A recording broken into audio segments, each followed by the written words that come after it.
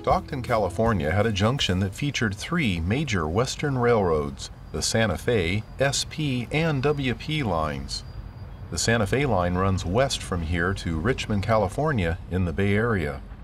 This eastbound local, pulled by a GE B23 7 and an EMD GP 39 2, is crossing Southern Pacific's tracks.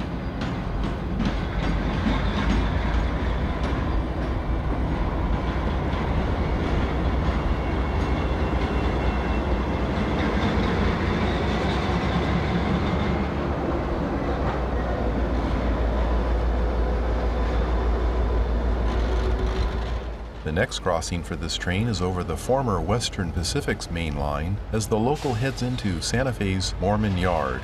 Both SP and the WP tracks run north to Sacramento, California. The Santa Fe never laid rails north to Sacramento, but many Santa Fe freight timetables marketed their connection up to Sacramento customers on the CCT, or Central California Traction Company, short line railroad.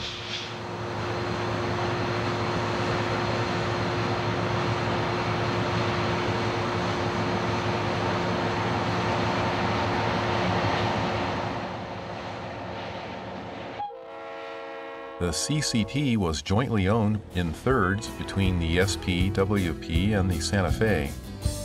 Returning back to the Stockton Junction, we reveal the track map for Santa Fe's crossing of the SP and the WP lines that run north and south. The traffic here was once controlled by this handsome tower. The tower has been destroyed in the modernization of operations here. The WP main line has also been removed since the Union Pacific bought the SP Railroad in the mid 1990s. This is still a fine location for watching trains, but now it's BNSF crossing the Union Pacific, and the tower is just a stain on the earth here.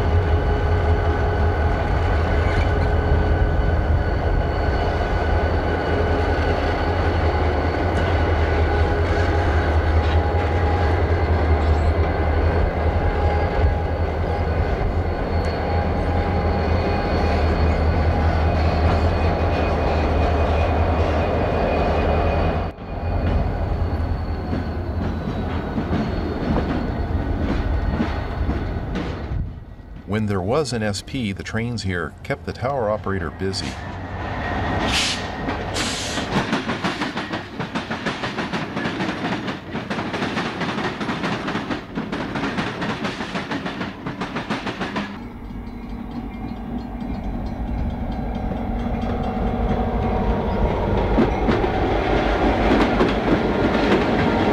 Union Pacific absorbed the Western Pacific in the 80s. The UP ran their trains between Sacramento and Stockton over this single track until the UP bought the SP.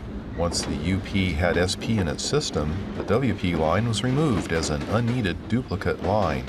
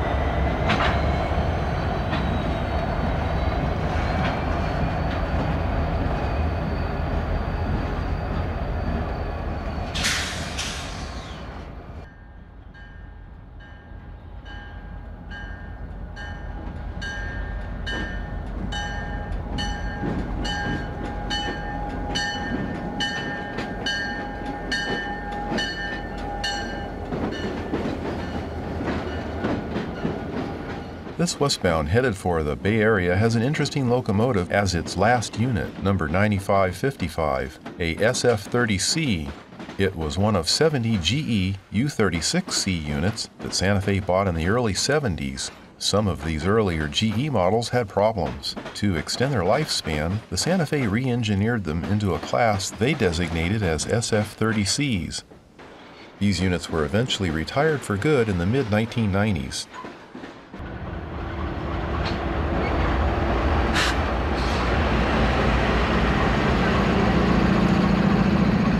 General Electric locomotives finally hit their stride as a dominant locomotive builder by the 1990s.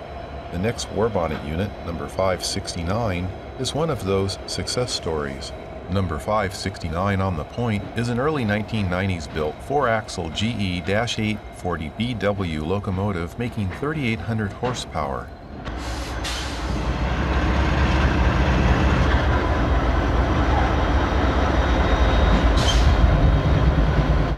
Train is led by a similar unit that is rated at 4,000 horsepower. The second unit is an EMD offering designated as a GP60B. This cabless booster unit is rated at 3,800 horsepower. Both units are capable of reliable high-speed freight operation which fit in with the Santa Fe's reputation well.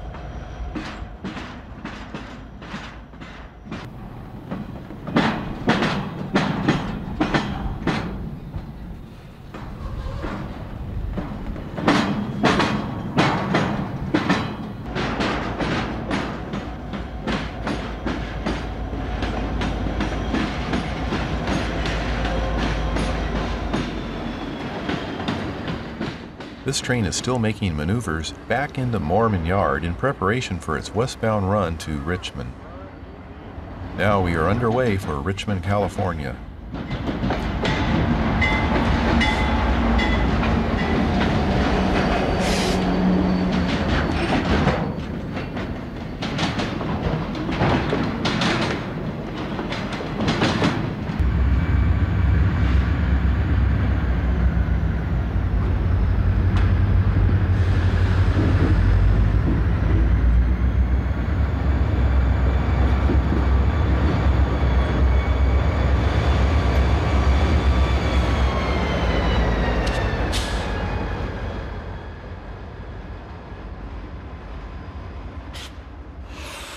During the early 1990s, the Southern Pacific was recovering from the failed SP Santa Fe merger and some other problems. SP was chronically short of power while their business was improving. Many sources of leased and loaned power were tapped by the SP back then. Santa Fe units were part of SP's recovery occasionally. This Santa Fe unit is leaving SP's Roseville Yard to help make a run over the famous Donner Pass. Scenes like this recall the days of the SP Santa Fe merger that was denied by the ICC. Things eventually worked out for both roads, but it wasn't easy.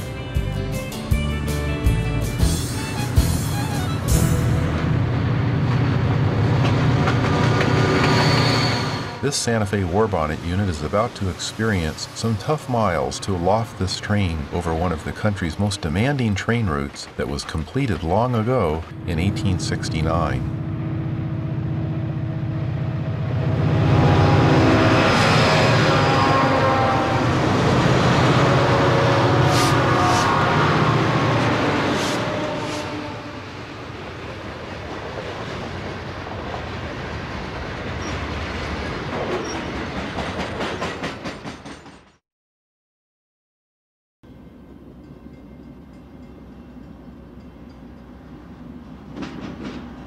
Santa Fe trains left SP's tracks in Bakersfield after their westward run over the Tehachapi line. This train is now back on home rails to make a short run to its own Bakersfield yard for a crew change to continue timetable west. Trains running timetable east from Bakersfield ran all the way to Mojave, California on SP's rails under a trackage rights agreement.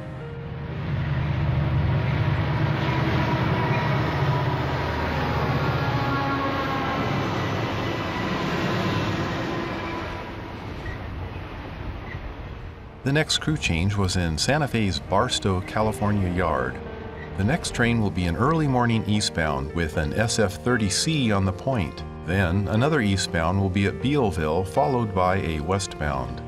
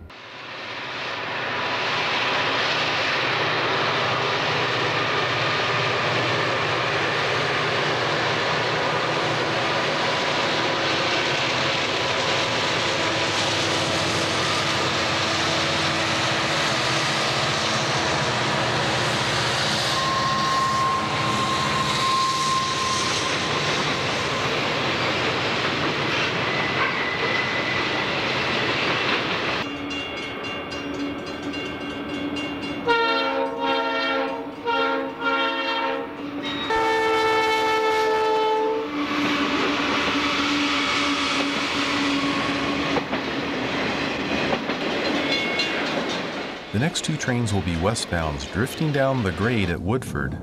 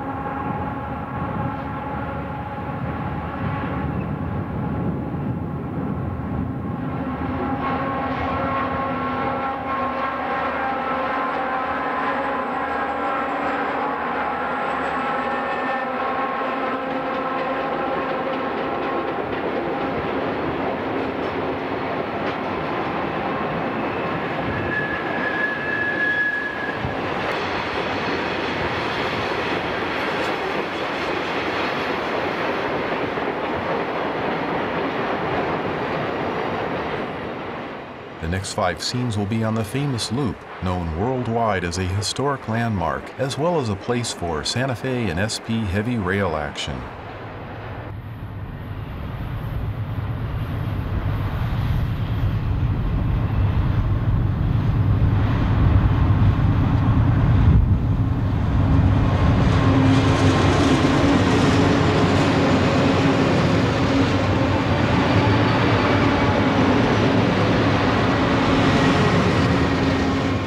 The entire story on our DVD available on our website at www.cspmovies.com. Be sure to like and subscribe, and thanks for watching.